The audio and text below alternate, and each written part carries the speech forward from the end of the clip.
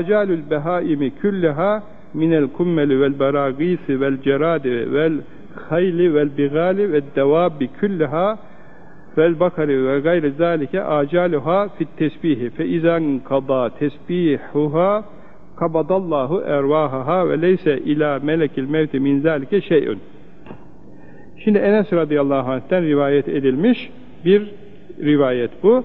İbnül Cevzi Cevzi isimli alim buna mevzu demiş ama bizim hadis alimi olan hocamız başka rivayetten de alarak bunu kaydetmiş.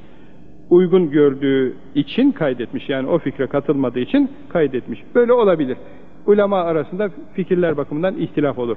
Birisinin bilgisi ötekisinden fazla olur. O bildiği bir başka şeye dayanarak tamam bu böyledir diye söyleyebilir. Ben de acizane bir aciz naçiz kardeşinizim. Birisi anlattı ki, o da profesör kardeşimiz, efendim e, Medine-i Münevvere'ye gitmiş, oradaki bazı alimlerle görüşmüş. Filanca hadisi şerifin ben hiç aslı olduğunu sanmıyorum, bilmem ne filan demiş. Hiç böyle e, sahih gelmiyor filan bana demiş. Ben o konuda 7-8 tane hadis biliyorum. Yani adam doğruluğuna kani değil, halbuki ben 7-8 tane hadis biliyorum. Bir başka hoca efendi kardeşimiz, hafız, efendim, işte bu sabah namazından sonra işrak vaktine kadar oturmak rivayetleri zayıf. Hayır ben 6-7 tane hadis biliyorum. Kuvvetli, sıhhatli. Yani demek ki bilgiler farklı oluyor ve görüşler, bilimsel kanaatler farklı olabiliyor. Bizim hocamız bu şeyi, bu iki okuduğum ikinci hadisi şerifi niye okudum?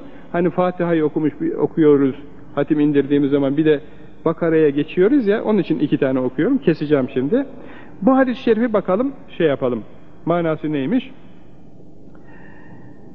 Behaimin yani hayvanların ecelleri hepsi yani haşerattan, tahta kurusundan, bitten, pireden, çekirgeden, attan, katırdan, binek hayvanlarından, sığırdan, inekten ve bunlara benzer, bunların dışındaki her şeyden bunların ecelleri tesbihleriyledir.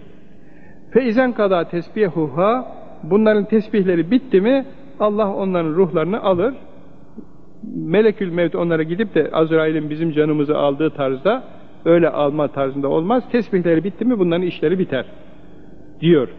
Şimdi muhterem kardeşlerim biliyorsunuz ki ayet-i kerimeler var. Bilmiyorsanız ben söylemiş olayım. Çok ayetler var. Yüsebbihu lillahi mahfis semavati ve mahfil ard. Yeryüzünde, yerin semada, içinde, dışında her varlık Allah'a tesbih eder. Ve in min şeyin illa yusebbihu bihamdihi velakin la tefkahune tesbihahum. Hiçbir şey yoktur ki Allah'a tesbih etmesin ama siz onun tesbihini sezemezsiniz, anlayamazsınız. Buyuruluyor. Şimdi her şeyin tesbih ettiği ayetle sabit. Her şeyin tesbihi var. Şimdi bu tesbihleri duyan insanlar var.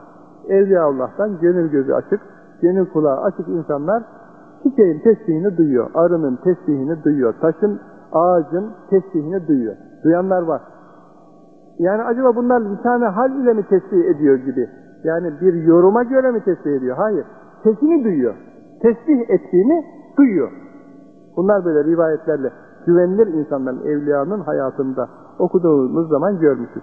Şimdi böceklerin, çiçeklerin hepsinde böyle tesbihi var. Bu tesbihi bitti mi o zaman onların da hayatları sönüyor. Bir rivayet var, çiçek topla demiş Evliya Allah'tan bir zat dervişlerine.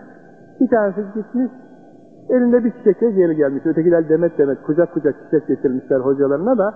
Bir tanesi bir kırık çiçek, saplı çiçek getirmiş. Demiş, sen niye bir tane getirdin evladım biliyor halini ama soruyor. Sen niye bir tanecik getirdin evladım bu soluk çiçeği getirdin? Efendim demiş, affedersiniz demiş. Yani hangi tesbihe, hangi çiçeğe elimi uzattıysam tesbih ettiğini gördüm, kıyamadım kırma.